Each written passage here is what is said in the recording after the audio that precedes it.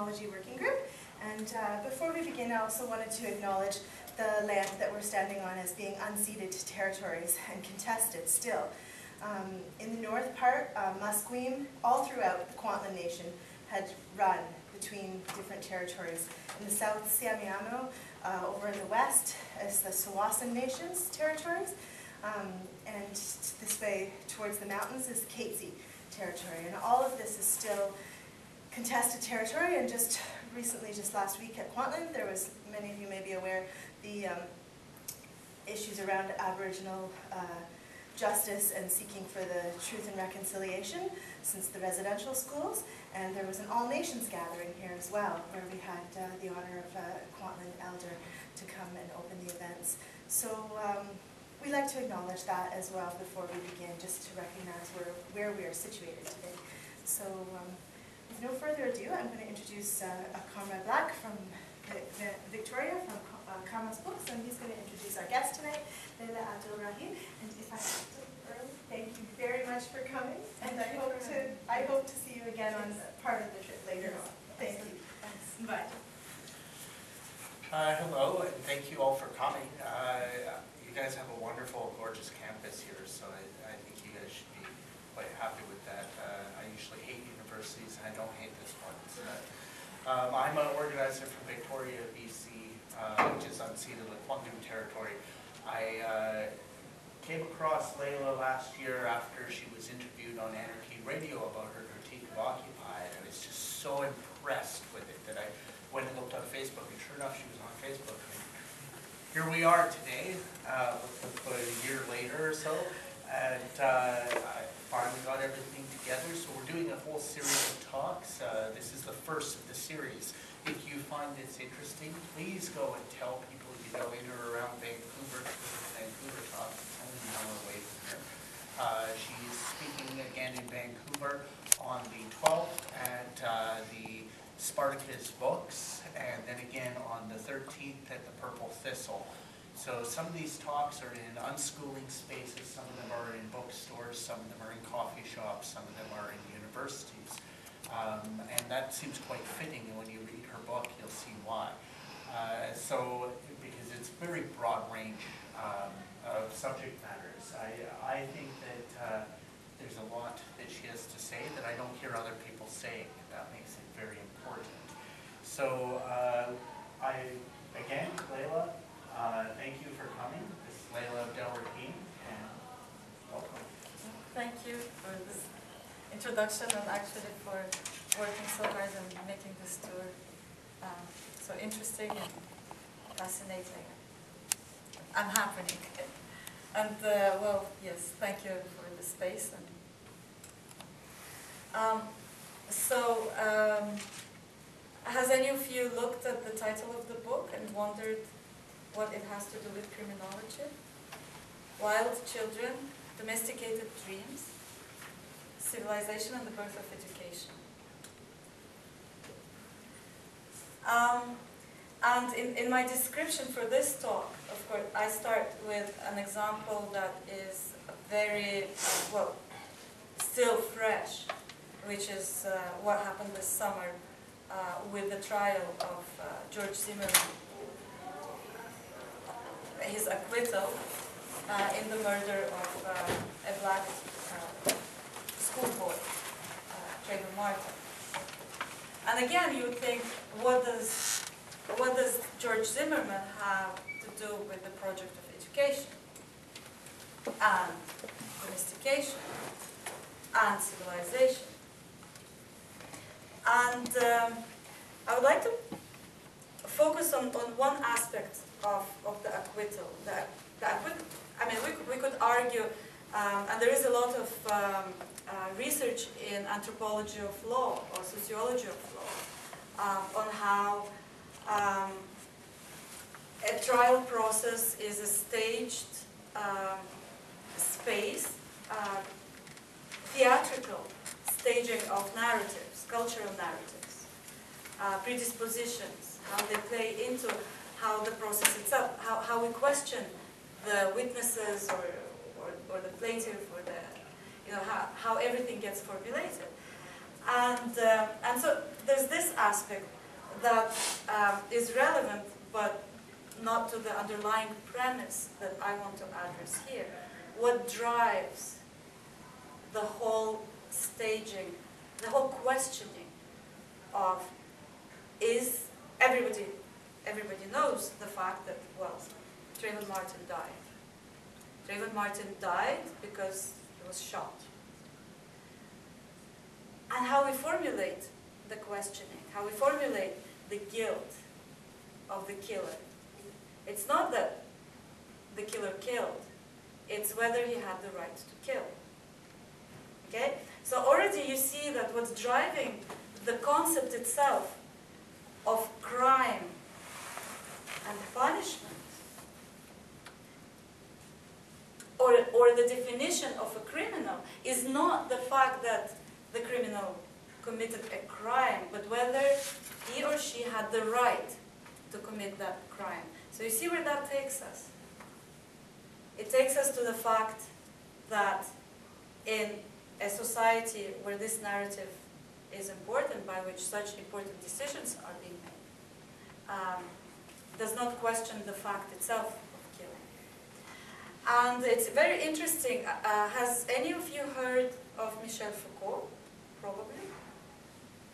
And uh, particularly of uh, I, Pierre Rivière, having slaughtered my mother, my sister, and my brother. Any one of you heard of this insane book?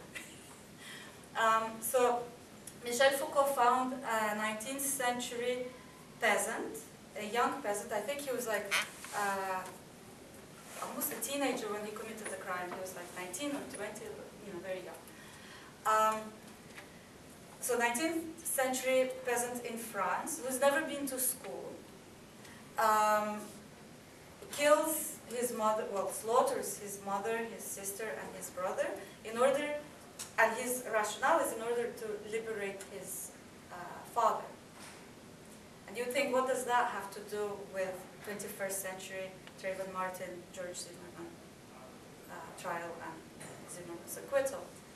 Um, again, I'd like to point to the what drives the narrative, how that process was framed, how the media talked about, and how now historians, including Michel Foucault, examines uh, uh, again this uh, this crime, um, and how the the criminal himself, because uh, Pierre Rivière, Michel Foucault came across uh, Pierre Rivière uh, because he wrote this incredibly eloquent memoir while he was in jail on explaining exactly how and why he committed.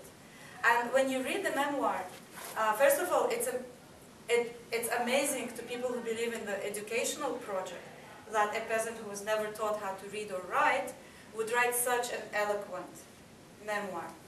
Second, it's a murderer who writes such an eloquent memoir explaining exactly the narrative, the motivations, how, what led him you know, to frame and conceptualize of that crime as a liberation project for his father. Okay? And uh, uh, one of the things I want to focus on, well, uh, actually two things. One is that the narrative, um, his narrative, was framed by him having read the Bible. Okay? And having read the Bible, um, he saw that there is um, a glorification of some murders and the criminalization of others.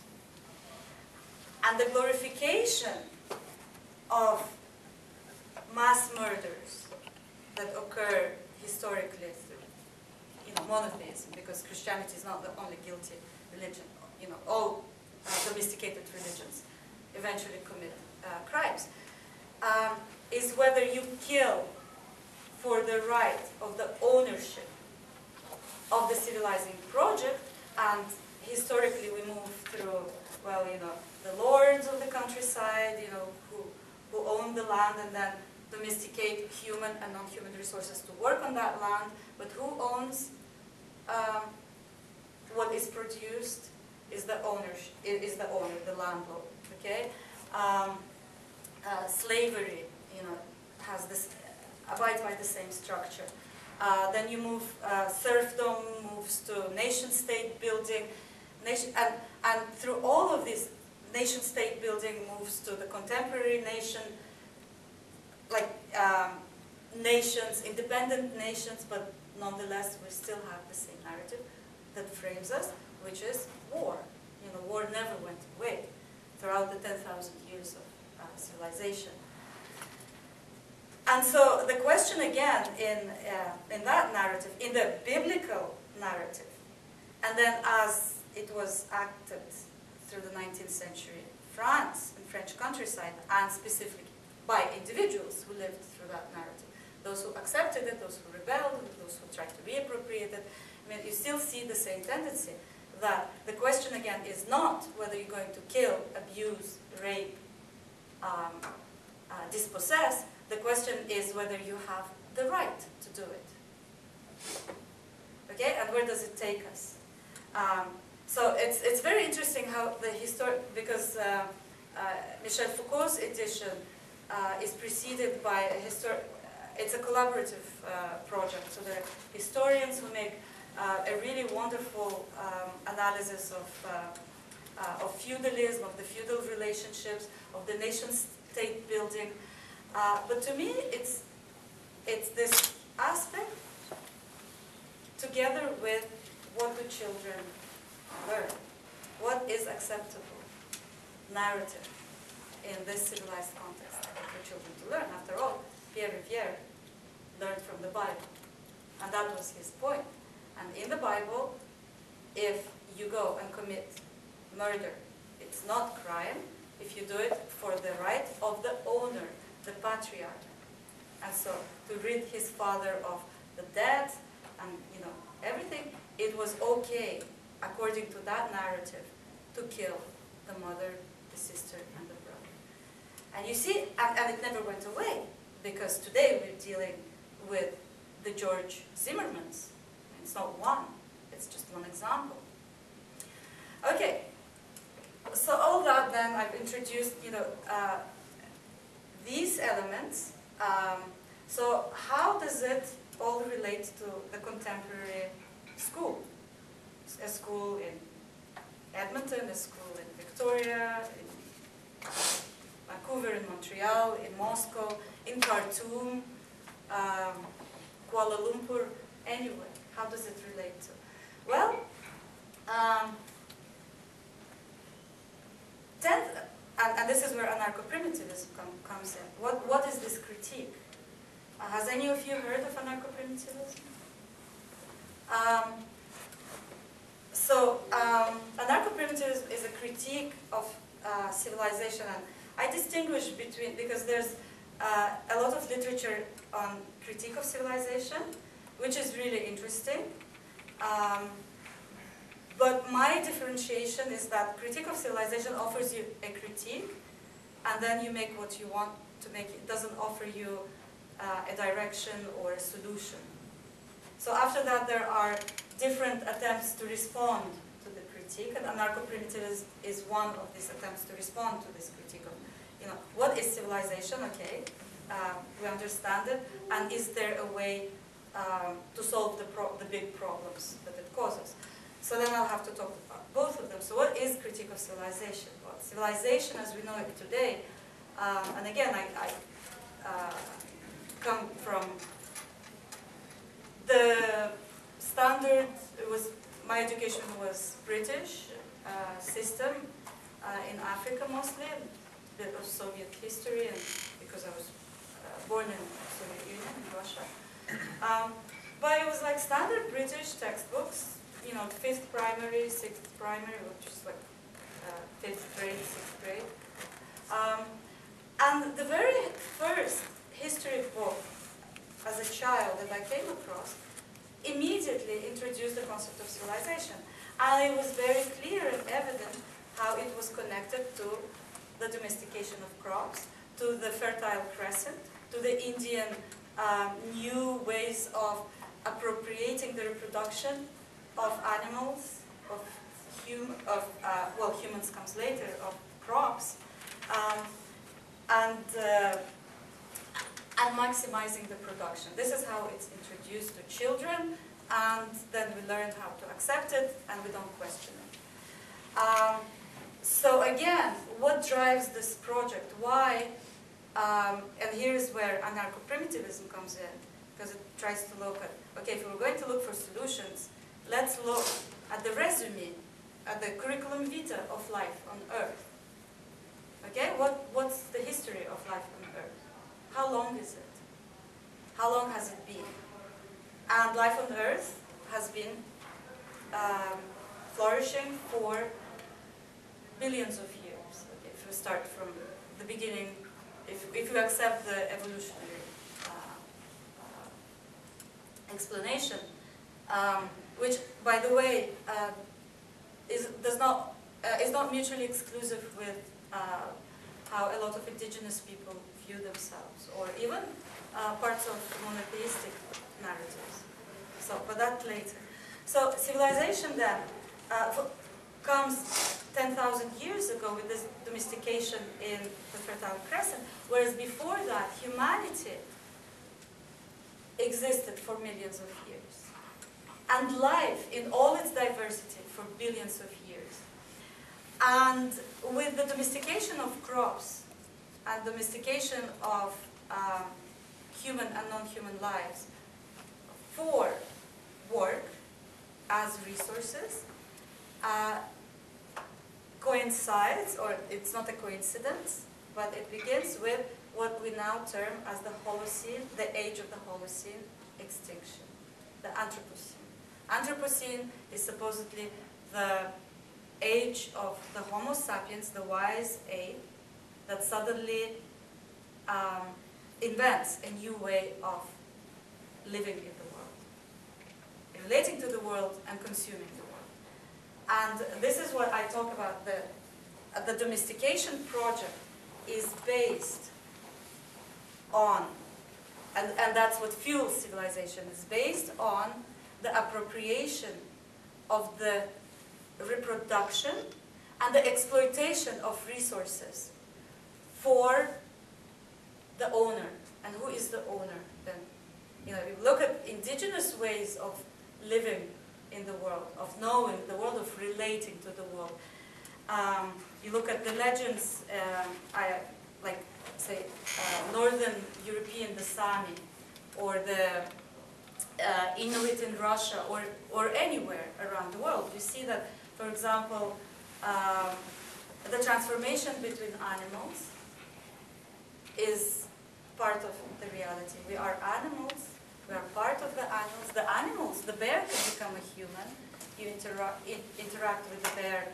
Um, there's no grammar that specifies that forever and ever one of these species owns the rights to the lives and the, and the product of the others. Neither the humans nor the Justice, the concept of justice in non-domesticated wild societies and wild relationships is like the quantum mechanics concept of, you know, that there's entropy, there's movement, there's, the, uh, there's change, and part of our existence is constantly living and moving in that constantly changing space, tuning into it so that we make sure that diversity reigns because life without diversity cannot happen, it's death. And this is what monoculturalism does. This is when domestication happens. It becomes for one purpose of one species. Now I'm going to shave this forest and plant potatoes. That's monoculturalism. And monoculturalism has two aspects to it, which is um,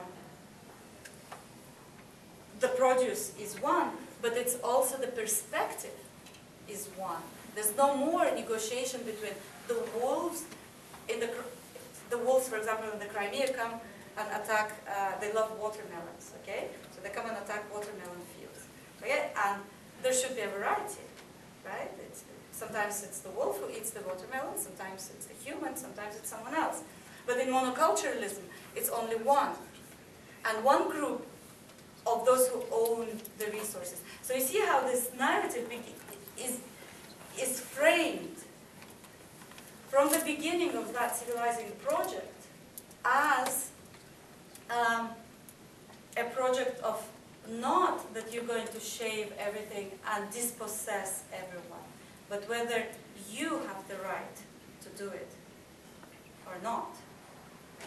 And with that, like, um, a lot of problems uh, start uh, coming out because, okay, once you this, you give one group of humans or of beings um, the right to possess the reproduction of others. What does that entail? That entails forcing the other sexuality to reproduce.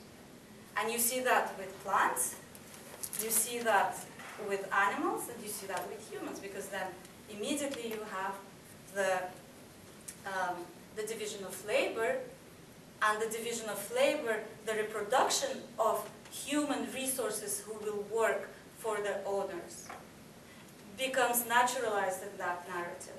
Okay, so it's no longer whether you have, whether rape has been committed, whether turkeys have been forced to reproduce when they don't want to reproduce, whether a woman is being raped for whatever other reason that the rapist defines.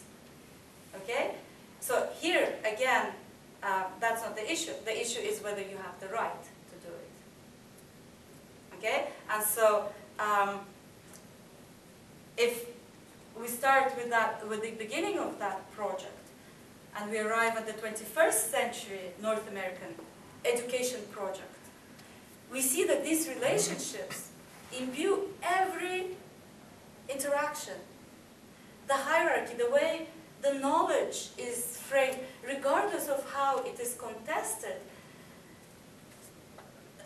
the structure of ownership, the structure of the non-division of wealth frames these relationships in this way that even if the law will articulate that you cannot rape, you cannot murder, in the end how it all plays out in the justice system is the civilized narrative of whether you have the right to do it. Okay? Did Julian Assange commit his crime? Did the guy from um, the IMF, what's his face? this is like willful amnesia. uh, think of Strauss-Kahn. Okay, did he commit the... It, it, it's not the issue, it's the issue is, oh, you are trying to attack the character of a man who is needed in this specific position. And what is that position? That position entails rape, regardless of whether it's individual, it transposes what does IMF do? Okay? What um, it oversees the interna it's the International Monetary Fund, right? It oversees the uh, that actually um, all nation states, their effort, their currencies are not valued equally. What does, what does that mean? That means that you, if you have to depend on massive rape in the Congo to force women to work for coltan to make uh, cell phones and other uh, technologies, that in that framework, it's okay. Even if it's not articulated, you see that the justice system is built around the fact that it's this transfer of, um, of resources to the owners that is being maintained. Okay? And non-distribution of wealth. And non-distribution of wealth is rooted in the concept of resources. You have these resources. You have coltan, you have women, you have chicken, you know, you have children, future resources for future labor. And so this, um, uh, the premises in this narrative are um, relevant to how then children are being domesticated, how the how children are being um, now we don't call them domesticated, we say educated, right? And what is this, like when you think about the driving um, premises of education, what are they? What's education? You go into, do you go to a club? Do you go to a woods? To the woods? Do, do you go um, in a community? No, you go in a classroom. And what do you do in the classroom? You learn what the teacher wants you to learn. And sometimes it's interesting and good stuff. But in my book, I argue what the interesting and the critical stuff, in the end, um, still obeys the structural parameter that in order for you to do well, you need to answer, to respond, to do the test, to the, the exams, and get good grades. And the good grades is what is the reward for crime, of thinking about yourselves and the others in terms of resources. You want to get a job? You're going to go to a human resource department and apply for a job, right? So you want to be a human resource. And you hope that you'll have enough human resources to compensate for whoever you are going to be a resource for. So um, the domestication project then uh, frames all of our, our desires, our knowledge, and our paths in this society in, this, in these terms. And so my, my question is then, well, I don't have answers how we overcome, because now it's globalized, this, the civilizing project um, and the domesticating project. How do we overcome it? But by, we, we, we have to uh, critique, we have to undo this domestication in ourselves and in the world. Okay, so we have to um, undo this thinking of ourselves and in terms of the world, in terms of resources, in terms of the right to commit murder. Shall I kill this chicken or shall I use this cow? Okay, it's am I ready to be used and to use? Know, what is this concept of justice? And um, with the uh, Holocene extinction happening, uh, climate change and deforestation and massive pollutions of the oceans and, and war, war, war, and uh, uh, massive in- industries, uh, according to statistics uh, in da- Daniel Dennett, uh, if 10,000 years ago when the project of civilization started uh, getting conceived and, and practiced in, uh, in the Fertile Crescent in the Middle East and then India and China and then spreading, um, bio, uh, vertebrate biomass was like uh, in wilderness, the non-domesticated, was 99 or 98 percent, and within 10,000 years, it's reversed. Now, the domesticated, which means civilized humans, and all the domesticated species, the monocultural species, uh, now constitute 98% of vertebrate biomass on Earth, and only 2% of wilderness. So it's an urgent question of what are we transmitting to our future generations? What are we? So I'd like to leave my uh, presentation at this. I think the, I usually like uh, the discussions much more. This is to present you the ideas and the critiques and the concepts. And uh, I'm sure, like for those of you who've never heard of these things before, it's, it would be great to use the rest of the time to really like ask the questions. Don't be shy. Um, and it would be much more interesting than speaking like at you. Thank you very much.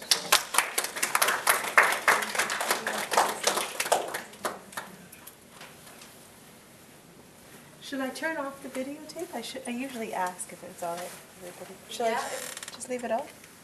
It would, it's usually actually more, in, the, the discussions are usually more interesting than the talks, I find. It's pointed towards her. Does anybody have a preference? If you'd like to turn it off, I don't, I don't mind. No one has a It's preference? okay? Tom? Yeah? Okay. Doesn't have your face. Yeah.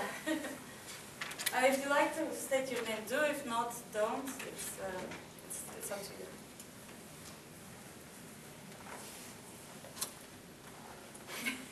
yes? Uh, Do you, um, do you believe that, you know, murder or killing another um, individual, human being, um, is, is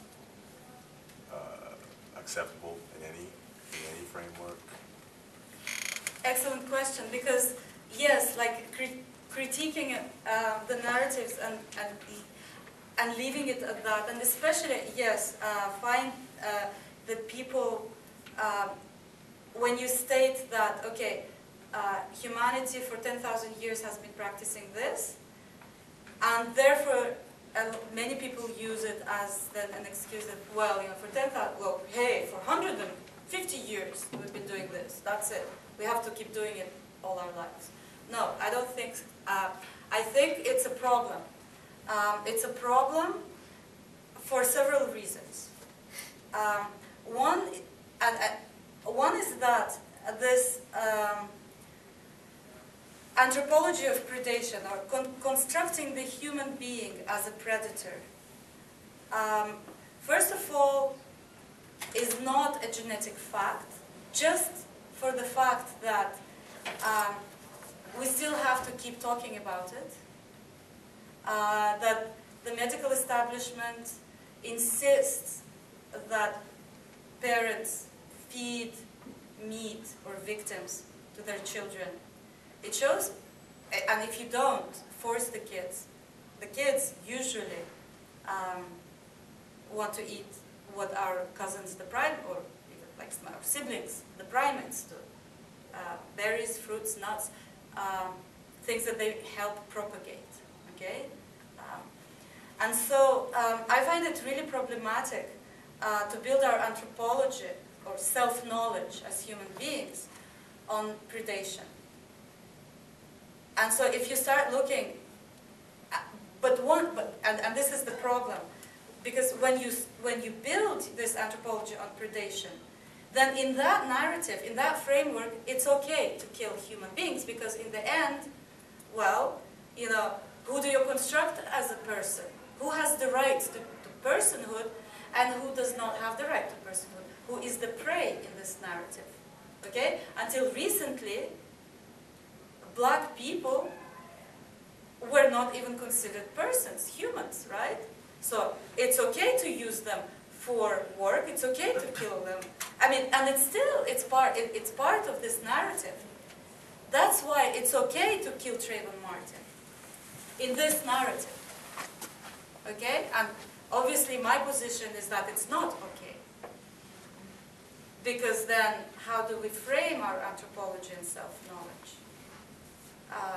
We could, if uh, we, if we are meant to be part of diversity and community of life, then it appears that our role is to help life be and to consume that which helps this diversity. Okay, and then you um, you go outside the whole the, the whole narrative of consumption because consumption starts with predation. And again, when we look at um, um, at the, our siblings today, the, uh, the primates, the, the chimps, the bonobos. Uh, the chimps, well, the bonobos, uh, it appears, don't uh, consume uh, so-called animal proteins. By animal proteins, and, and chimps sometimes do, okay? Maximum up to 10% of their diet, and the proteins are ants or termites. Um, so it's not like active hunting.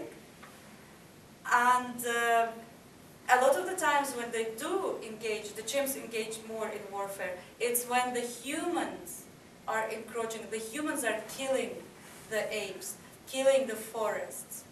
taking it, uh, colonizing the, the, the land for, again, agricultural uh, purposes, then you start seeing that the chimps are perfectly capable of behaving like humans, like civilized humans, and think of war, and think of cunning, political strategies of how we're going to gang up against another chimp or another uh, group of chimps.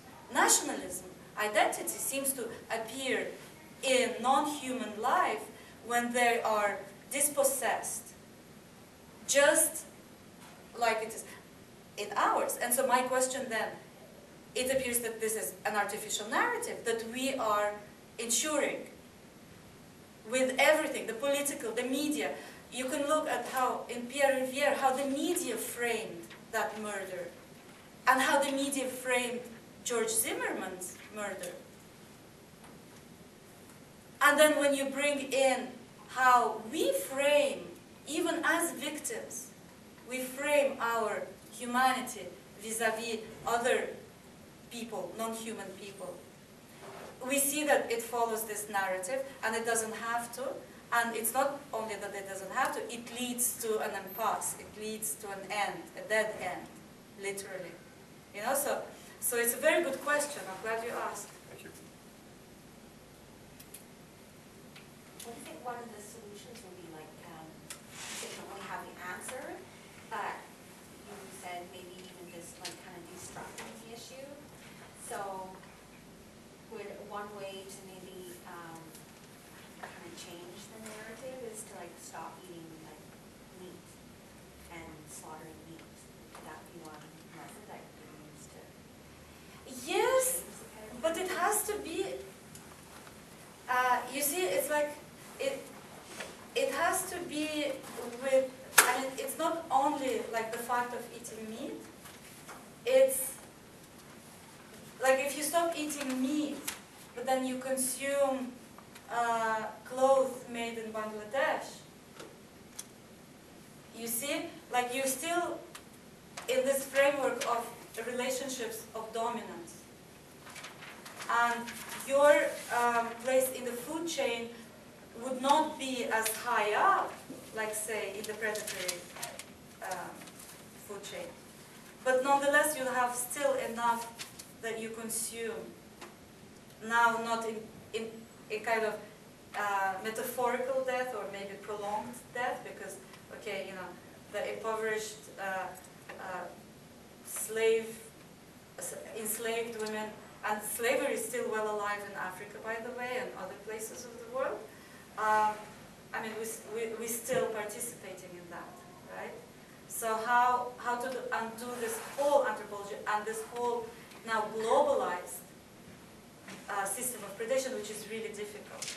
It's one of the things you definitely need to, to like to address, like how, how and what I consume. But what's the hidden? And it's very interesting, again, um, in the book I talk about um, an experiment, okay, anarcho-primitivism comes, comes in here because it's an experiment by a guy who wanted to critique civilization. He's an economist from Finland, and he wanted, like, okay, there's a critique of civilization and there's like the economic systems uh, that calculate, you know, the, I was going to say GP, it's like in an academic context, but, you know, the, how much uh, nations uh, expand, how much, like, and, and it's like, oh, appears like, you know, just digits, like, well, you know, this year, um, uh, you know, the states owns, receives that much and owes that much, and how do we, like, make sense of it? All these, like, okay, let's see what is the real cost of civilization, okay, of technology, of, uh, of how we live.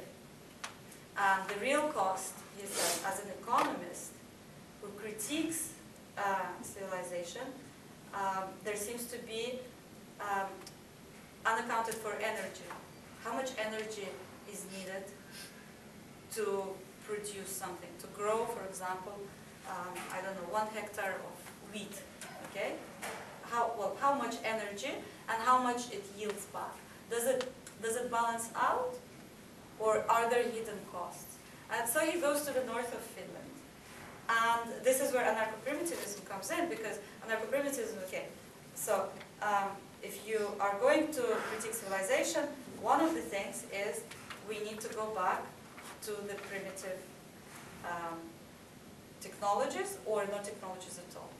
There is a problem with, yeah, uh, one second. There is a problem with the um, going back and, you know, and, and, the, and the term itself, and obviously me, uh, having grown up in Africa, who until, and my father is, I'm half African, half Russian, and so to me it's a, it's a problem because, you know, my other part has been called primitive for, still is, you know. Um, and so, um, but I can see how certain uh, anthropologists would look at it in terms of strictly uh, advanced technologies with hidden costs or rudimentary technologies. Okay, so we can look at apes or birds can make rudimentary primitive technology.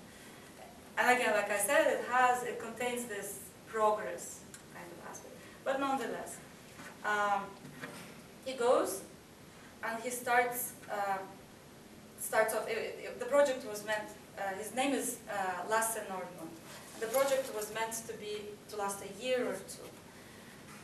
So like, okay, I start off with one goat because I need milk, I need protein, it's like a horse to help me plow. Um, and then we'll see where, it- where it goes from there. And he finds like, okay, uh, to keep the goat hostage to his need of milk, okay, there's reproduction involved, constant milking involved, it's like a rape of the goat. That takes energy from him and time for which he has to account. Like how much is the, does that milk give back enough? Same thing with the horse. To have the horse work, you need the plow, you need to feed the horse, you need to, to keep it. And in the end, uh, and, and to work the field and to make sure there are no competitive species. That's another thing of monoculturalism. You don't want competition. It's yours, right? And so he found that the hidden costs, um, the mining industry that's involved to make the metal, bid for the horse, the leather, he has to go and kill somebody to get the leather, you know, the reins. Um, the plow itself, you know, cut off wood, you know, all of these things, he found that the more you rely on technology, the more you, you have these hidden costs. And so if you want to go to a place that can, uh, a cultural place that can have diversity, um, that is pleasant to live in, that is healthy, that gives you leisure and health, because this is why, like supposedly in school, this is why we pass these tests, um, get degrees to have a good life, right? Otherwise, there's the death penalty. You will not eat if you don't get good grades, if you don't finish school, if you drop out. Oh, how are you going to live? It, you know, that's that's the thinking in terms of death penalty, and the reward is not a reward at all. The reward is that you are going to give your life as a resource in order to feed this machine that is not viable. Because the expenditure is always more. Okay? And so how do we go to that place? And there are different, different ways. Well, the population problem obviously is a big problem. Like you, you can't have everyone go with Lasse in the north of Finland. Okay? So how are we going to do it? It's a creative pro, like it, it, it's something necessary, urgent, and a creative project of diversity because in every place there's going to be different solutions and different communities, but it's an urgent thing to address. And that's one of the things, only one tiny element. Again, very good question, thank you. You had something. Yeah, no, I like, I really like what you just said, and I agree with a lot of that. But just uh, for like a definition, uh, like I came in a bit late, so you probably already covered that, but a definition of anarcho-primitivism, you know, like, are you talking about uh, pre-industrial or pre-agriculture, um, just as, in- like in general? you sort of already covered that just now, I think. Yeah. But, uh, Okay, you want to specify? Um, yeah, again, um, um, there, it's like also my critique of uh, a lot of how subject matters and historical eras and, and genres of literature or science or disciplines get covered is that you always have this kind of, um, and that's part, you know, part of how, you know, domestication civilization work, how you're going to know the world.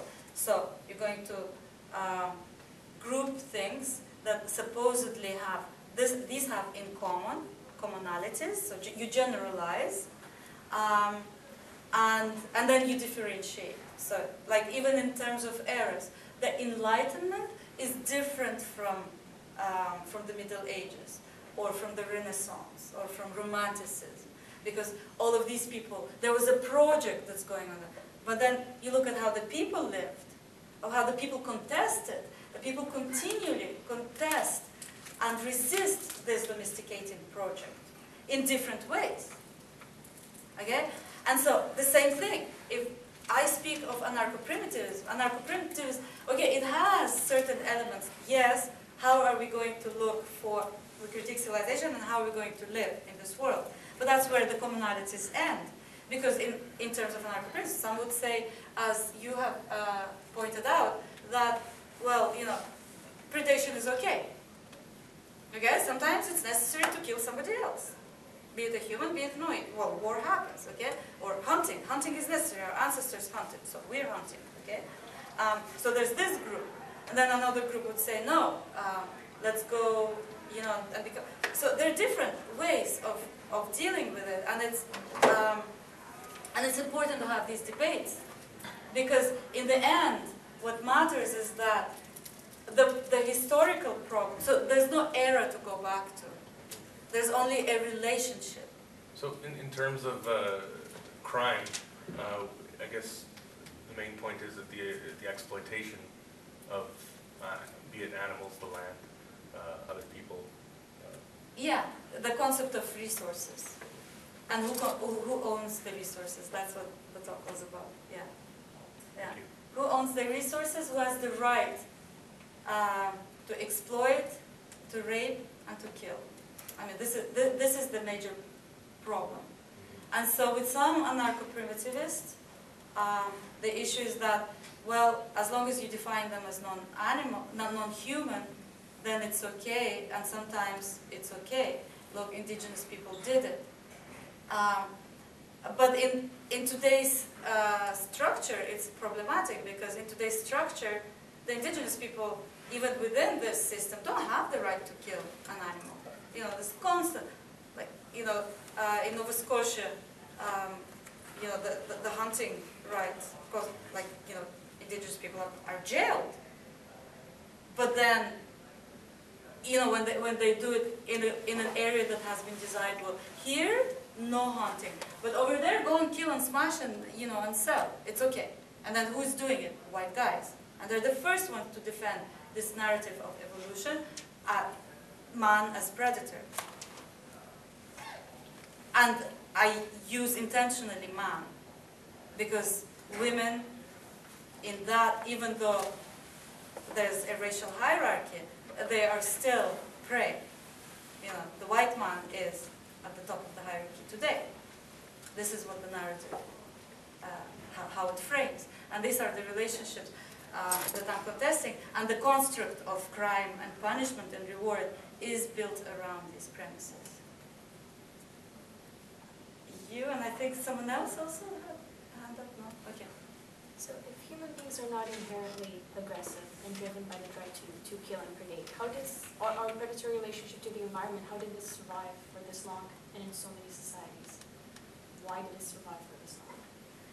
Uh, well, that's, that's exactly the point, that um, it's not a viable model because it, it, it brought us um, to, to the age of extinctions.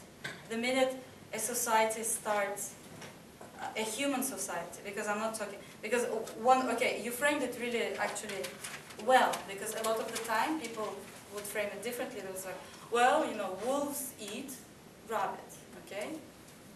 I was like, well, are you a wolf or are you a rabbit?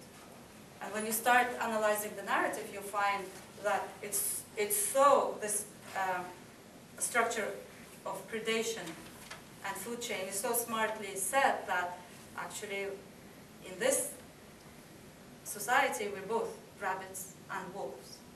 Okay? But rabbits and wolves are not rabbits and wolves in terms of prey and predator all the time. Okay?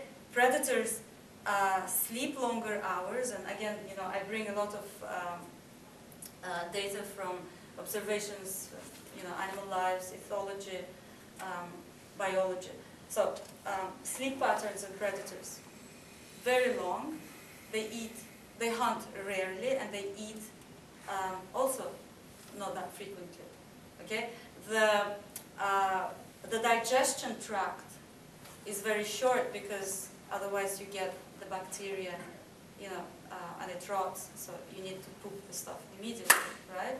So um, uh, there's a lot of physiology uh, in predation that is involved to account for that. And predators historically have uh, herbivores and frugivores, those who eat herbs and those who eat fruits, have outnumbered predators. Okay? And so the minute uh, humanity, and again, it's a part of humanity, for whatever reasons, started, uh, according to some evidence, it was scavenging, and then they thought, well, you know, why scavenge? You can, and then invented fire comes in at the same time because we're not adapted um, to predation, and we're still not adapted to predation. We have the appendix, and our digestion tract has not adapted to predation. We still, um, Uh, we get a lot, like a, lot of diseases, cancer from consumption of meat. So, so this all points to the fact that even in terms of our physiology, this narrative remains a narrative, and it's and it's liberating. Because when you look at throughout the history of humanity, most human groups, if they predated, it was like an extravaganza, and the, the majority remained frugivore, herbivore, and um, gatherers, it liberates us that we are not genetically kind of predetermined. We're either made by this like wrathful God who's like go and kill and pollute, and we're not made by this evolution that like really is into this, you know, this whole predatory um, thing. So it liberates us. We can can change the narrative. We can frame our relationships differently. We can undo the structure. But we've come to a point where it has gone so far that where do we begin? Okay, and that's like a communal effort to find that solution. Does that answer? Any more questions? Yes. Yeah, I have a couple. I'll just ask uh, the first for now. Sometimes uh, there, there's a, a criticism of anti-civilizational approaches that emerges that says that uh, to look at civilization is, is too general. It's, it's too abstract. It's ahistorical. And it assumes this sort of this some sort of spark happens around domestication at some point, and then it inevitably leads to you know where we're at now, right on the precipice, possibly, right? But so I'll ask you. Part of the part of the criticism suggests that rather than looking at civilization, maybe now I understand you talk about eras, and I, I don't want I, I, I, appreciate that, but maybe uh, maybe looking at specific modes of production makes sense. So so part of that criticism would be to say it's not civilization per se, but certainly something seems to happen with the emergence of capitalist modes of production, right? With the development of capitalism, you see extreme forms of production, the sort of technological development that you're talking about, the end of the commons, privatization of the biosphere and so forth, and of course, you know, genocide and mass extermination. So I'm wondering how you respond to those sorts of, uh, those sorts of criticisms that on the one hand say uh, it, it's, it's not civilization or that that's too overarching, and also is there, is there a- some sort of a rift that happens with capitalism? Mhm. Oh, ex- excellent point, and actually I address it in the book. and uh, uh, because, um, again, uh, it kind of also um, uh, goes back to my response on uh, Lasse Nordlund, okay? Um, what happens uh, with capitalism is that, cap- you know, what is before capitalism? Before capitalism is feudalism, right? And we're talking about Europe, okay? Um, there's what's happening in the rest of the world at the time, okay? Um, the rest of the world, there are sometimes, you know, this, um, uh, les éclats, comes in French, like explosions of civilization. And civilization in this anthropological sense of um, domestic, uh, okay, uh, here I'll explain, you know, the, the, the technicality of the anthropological sense of civilization. So, uh, with domestication of crops and human and non-human lives for labor, um, it becomes necessary, if, if humanity seems to have, and, and not only humanity, it seems uh, movement and nomadism has been uh, part of the necessity of diversity, especially for larger herbivores, um, predators. Um, what happens with domestication is then, because you're involved, this is what Lasse Nordlund observes, like you have only one goat and one horse and that's it, you're stuck to that place. Okay? And that place, if you are engaging in monocultural mode of relating to, to it, you are expropriating energy, but you don't have the diversity, the community to give back to it as the nomads would do.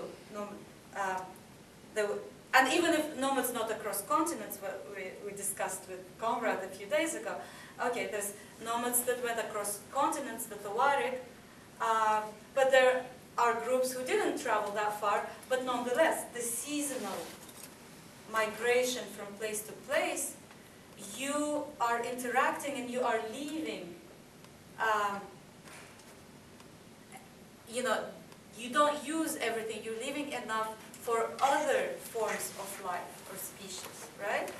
So what happens with domestication is that you are settled, and at a certain point you deplete.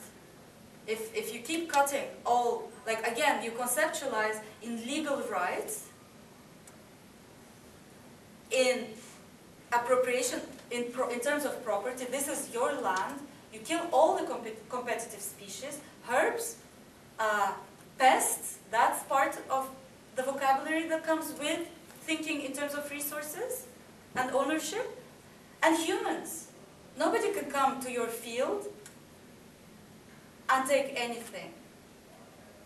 And then you need slave labor because you cannot all alone work and produce and expropriate from that field. So then you need, it kind of, the project itself starts um, kind of realizing itself. Um, you need slaves who will protect the territory, who will kill for you, slaves who will work, um, slaves whom you consume in terms of flesh and in terms of labor. Okay? Um, and then you deplete, and then you need more space. Okay? So civilization then um, already starts with settlement, and that settlement requires that you have more population in an area that normally would not, would not have had that settlement, that needs this seasonal movement and these interactions and this diversity because every group of beings, human or non-human, different species, they have their own uh, trees work together, you know, there's communication between the roots, between what is going, how to, how to grow, what is going to rot, what is going to fertilize. Um, and once uh, civilization then kind of brings settlement, and settlement brings us to cities, and cities require that colonization, like eternally expanding colonization of more resources, more land. Okay? And it brings us to a point where you cannot, eh, because uh, it's depletable, and, and again, it's Lasse is really helpful here because you are involved in constant devaluation of effort, of work, and of what the land can produce. Okay? If, if there is no natural system of uh, reintegrating what you have eaten into, into the diversity of what comes next, you are working on depletion, and that's devaluation of the potential of the cost that um, or the profit that you can obtain from, from your colonized uh, resources and land. Okay? And so, um, to look at, uh, so, so, so then the, the whole project of literacy, you look at uh, Jack Goody, um, Ong, uh, Walter Ong, um, uh, Watt, Ian Watt, like they all talk about how, for example, literacy comes or um, writing down the abstract and yet permanent ownership and what the resource owes to someone else starts with that colonization of land, spread of cities, and civilization in the Middle East, India. These are the first alphabets, and it's not a coincidence. Okay? And so when ca capitalism is the symbolic and abstract uh, attempt to hide all, you know, the loss of diversity, of the real cost, of the real price of this civilizing project.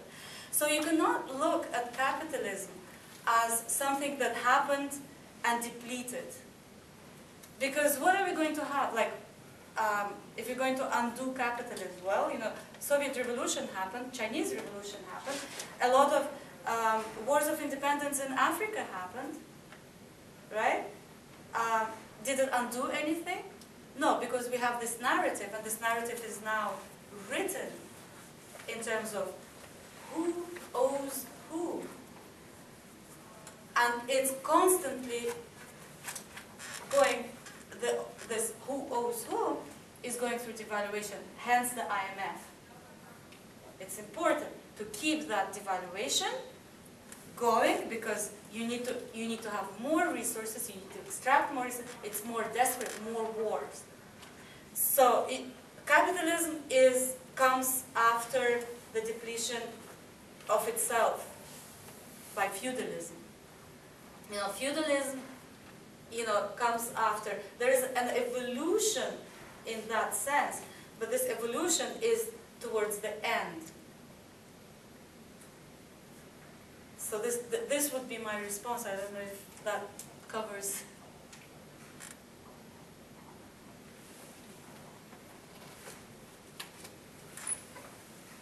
So feudalism is kind of like a decentralized version of globalized capitalism. Exactly.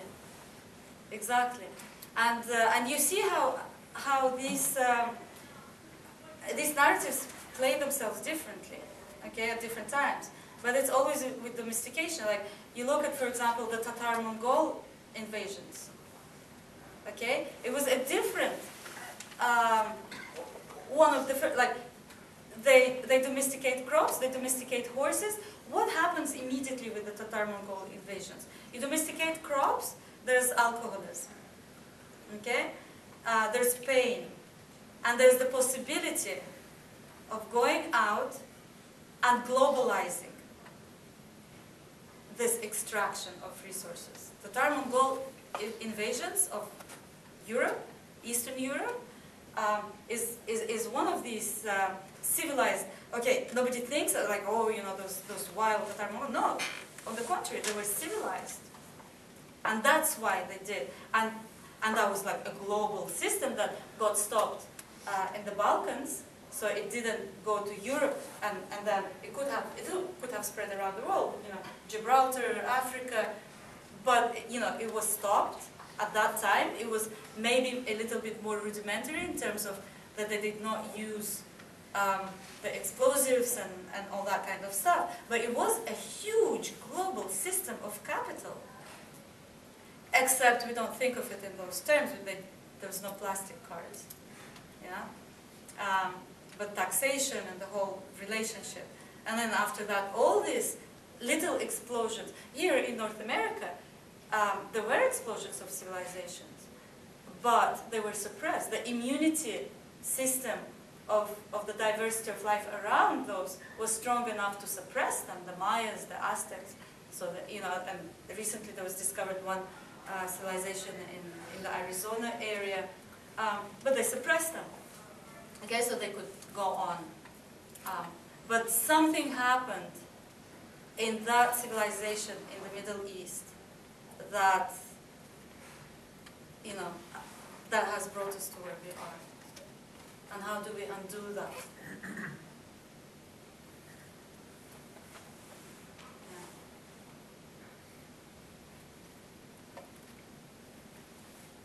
Yes? Uh, One more.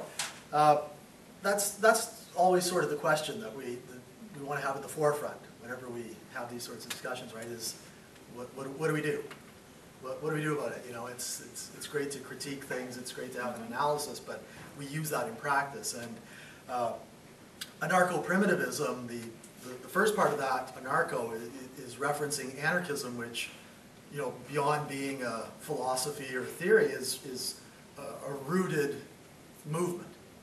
And so I'm just wondering if, if you could uh, maybe leave us with a sense of what are some of the, uh, the real world prospects, or where, where do you see uh, in, in, the here and now of everyday life perhaps the sort of the, the possibilities for, uh, for, for, for turning back domestication or, or for, for the possibility of something different, something better, that's something that opposes that sort of predatory uh, characteristics that are nurtured in current conditions. Um, I think the most urgent uh, and most hopeful concern, because I mean, you can't go like to the parliament and say, uh, Stevie, uh, please can you step down? Like we don't need a prime minister anymore. Um, like, he, he won't do it, right? Um, you'll be in trouble. So um, it's like it, the, the, the structure is there, but um, the domestication of children and the narrative we transmit to them and the active resistance of all the oppressive um, the oppressive forces that allow for this narrative of, of Pierre Rivière and George Zimmerman to rule us you know, and, and how we relate to each other as humans and to the to our non-human siblings. So we're all part of this world. We're all part of the living and non-living essence, matter of this world. That, that's where we come from. Um, and so um, all forms of resistance and active um, uh, active resistance uh, is, is important. But it's going to be hopeless if we do not undo the narrative and the methodology of domestication of, of the people who are growing up right now and accepting this narrative and accepting their place in this predatory. Because they're always promised some reward and they're always promised that if you only do better, you, and this, this I, I, you know, I will go back to Pierre Rivière. This is one thing he learned from the biblical and from, um, from the news. He's like, well, you know, colonial wars are happening, and, you know, these French um, soldiers come back and they're rewarded with golden medals for having killed the savages. And the more you kill, the more rewarded you'd be. And they're celebrated for it. Okay?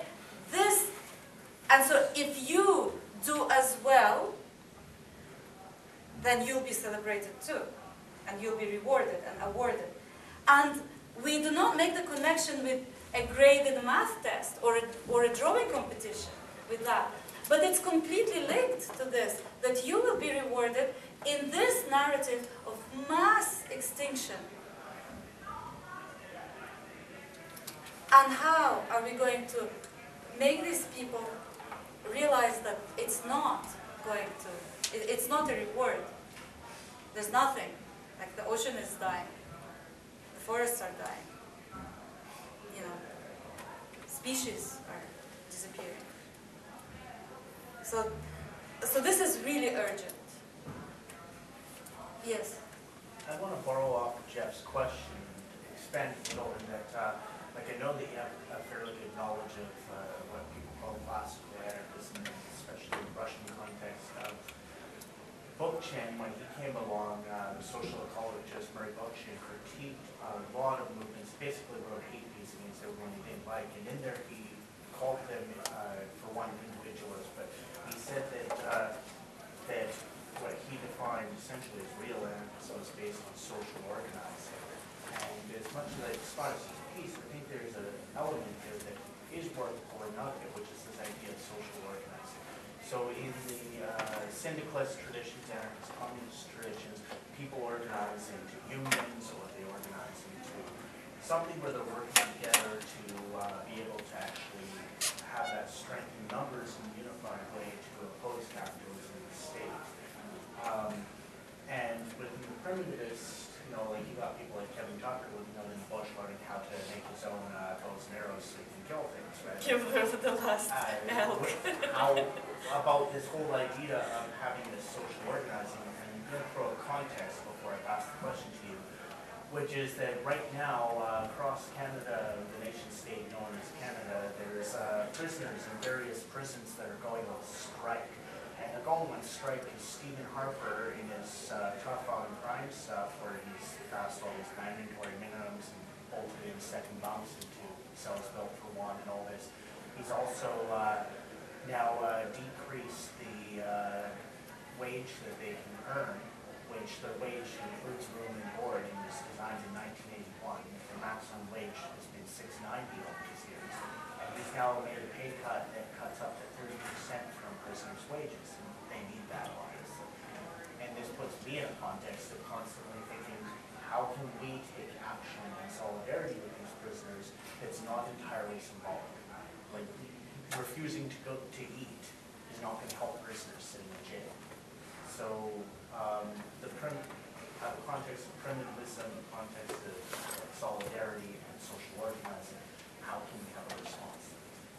Yeah, well, that's, that's a problem that, um, again, you have people who take, you know, this whole, um, Western knowledge approach that, you know, well, we think in terms of uh, disciplines and disciplines then, you know, everything is separated, you know, biology is separated from anthropology and anthropology is separated from math and math is separated from art, okay?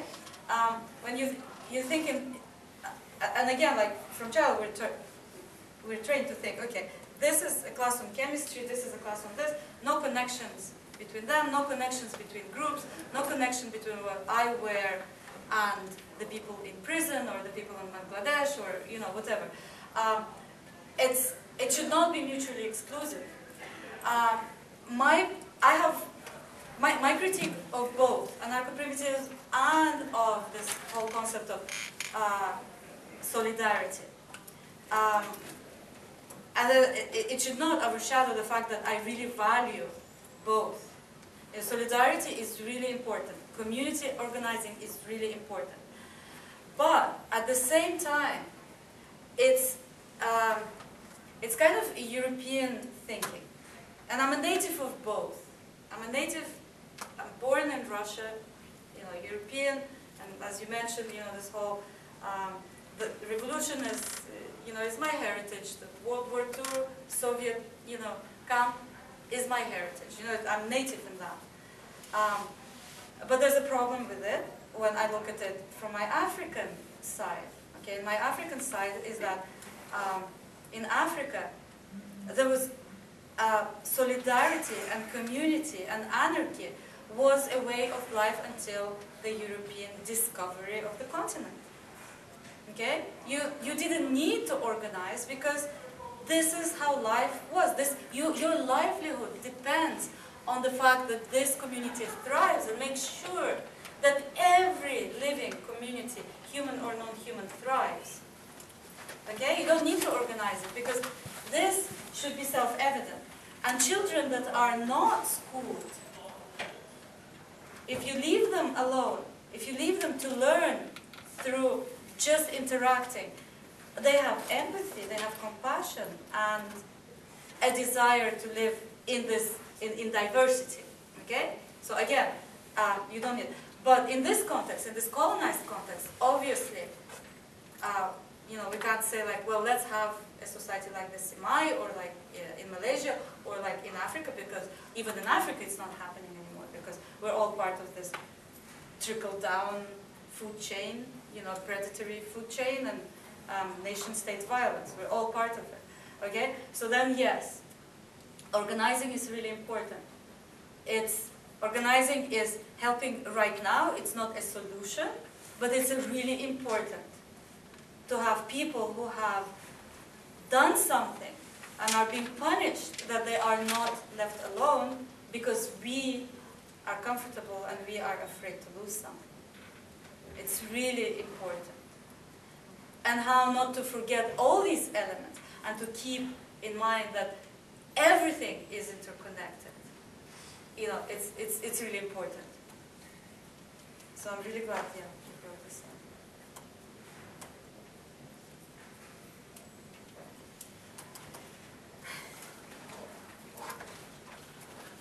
But I realize that some folks have to uh, go for uh, night classes and things like that, so I certainly don't want to uh, hold you up. Thanks to everyone for your, uh, for your questions and your comments, and thank you especially for uh, sharing. sharing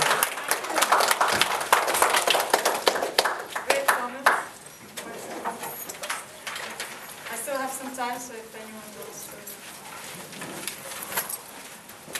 want to ask. Yeah, I didn't mean to rush folks along, I just, I recognize that some people had to go, so I just wanted to give them that space.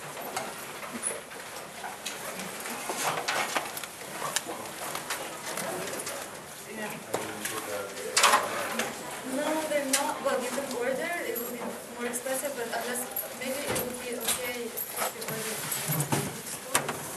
Uh, there would probably be twenty-two for your Mr. Bookstore, I'm sorry for twenty, because I have to pay. I think um, what you're saying really speaks well to the idea that uh, school is less, school is more, more or less for learning specific aspects and learning how to, uh, learning how to ask questions. Yeah, Criminology specifically, I think, uh, really asks you that question, why, why. Are you staying, Jeff? Frankly, why we are, why. Uh, yeah, I'm gonna help. Oh, oh, okay. yeah. Thank you very much. It was very abstract, but it was really bring me out of the norm. Uh, Have a good night, bye. Was it too abstract? Okay.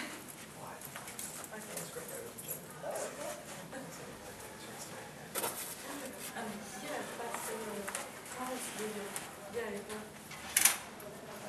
But of course, like, when, I, I know there's no camera, like, oh, I don't know. Yeah, Thank you for the time. Yeah, Thanks for coming, I'm glad you're making, I'm glad that the uh, tour is uh, looking good. It's the, Yeah, uh, yeah. full, uh, Itinerary that you got lined Yeah. up.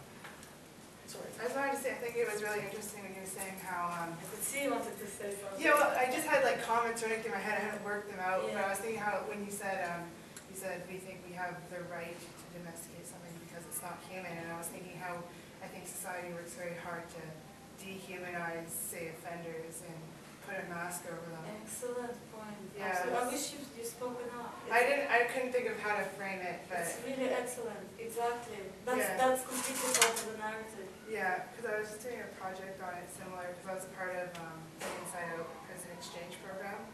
And it was kind of funny because we had worked in this classroom environment, students and inmates, and you'd forget who was an inmate, who was a student, and then two months after the program ended, there was an article in the newspaper about one of the inmates being released, and they just completely dehumanized them, turned him into a monster. And I think that's kind of what we're doing now is we're putting this big label on them and saying, you can do this because they're not human.